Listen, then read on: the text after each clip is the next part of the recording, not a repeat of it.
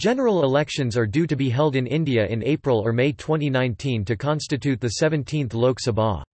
Legislative Assembly elections in the states of Andhra Pradesh, Arunachal Pradesh, Odisha, Sikkim, and Jammu and Kashmir will be tentatively held simultaneously with the general election.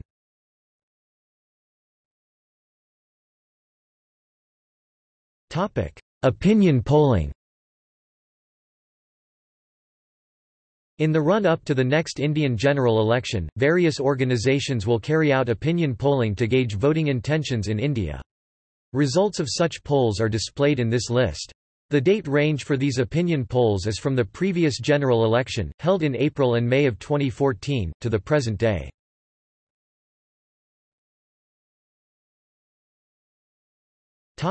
See also 2019 elections in India